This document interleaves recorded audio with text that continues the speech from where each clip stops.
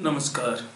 आ, जैसे कि आप देख ही रहे हैं तो लास्ट जो वीडियो थी उसमें मैंने डिस्कस किया था कि किस तरह से आ, एक जर्नल को आ, मैं इनिशिएट कर चुका हूँ।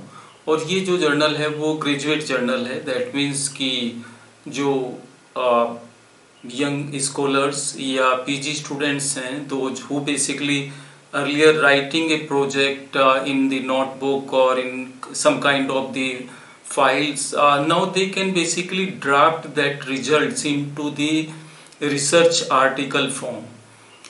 And uh, the next point is that who basically can submit the result and which type of the results uh, will be acceptable in this uh, journal which is called uh, graduate journal.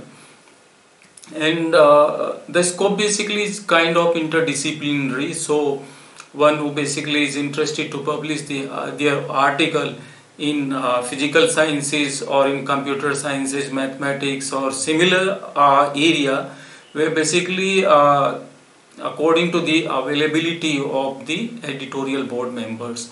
So that kind of uh, and uh, research area and disciplines related articles we are accepting.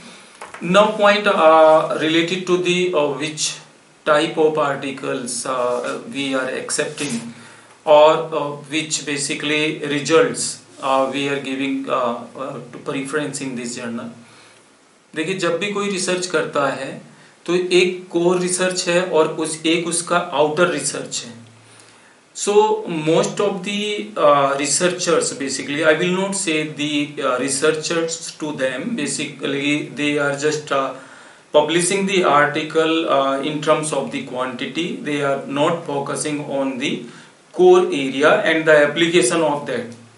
So their focus is just only to the publish the article. They want to uh, they are not interested uh, what will be the impact of this research and where.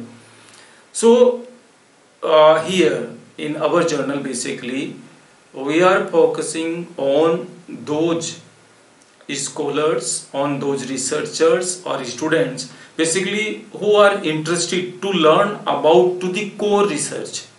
They are interested to learn about to that. So for that it is not basically an easy task to jump into the core research in any area. So for that it is must that they do uh, uh, a similar kind of research or they reproduce the results.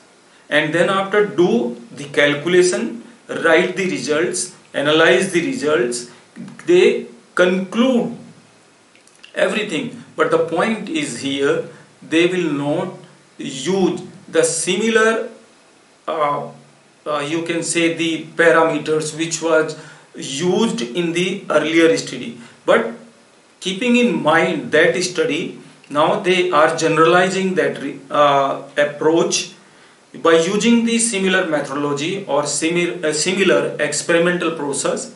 They can use uh, the purpose of their research is to reproduce the results, right? Not similar research, not by taking the same parameter which was uh, were considered earlier in any published research. So that kind of research basically I am interested to publish in our journal so that uh, the scholars learn about to the uh, process of the publications together how basically they are doing the research. So when they will uh, get the output from the reviewers so they will learn about their own field together with from their uh, subordinates and seniors so this is the uh, main target of the journals. We want some analysis of the uh, results which is uh, done by the graduate students, right? Those who are not doing the uh, core research. So our focus is on that. One important thing here, uh, you can see our journal website and uh, in the aim and scope I have mentioned all these things about to the journal and uh, definitely uh, you will get the uh, benefit from this journal. And if you are a graduate student and uh, interested to publish your article you are most welcome. You can submit.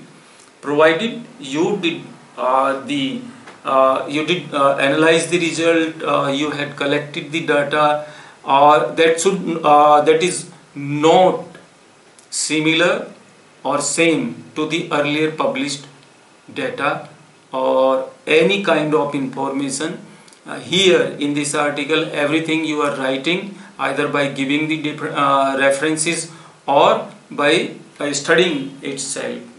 Uh, right? So these are some points. So i hope if you are uh, doing uh, msc mtech mphil or in your pre-phd course in the early phase of your phd program you can submit the uh, your results here. I will help you in many ways uh, to uh, bring out the uh, quality in your article. Thank you. Thank you so much for your time and your faith. I hope uh, this will give you many many support in your research career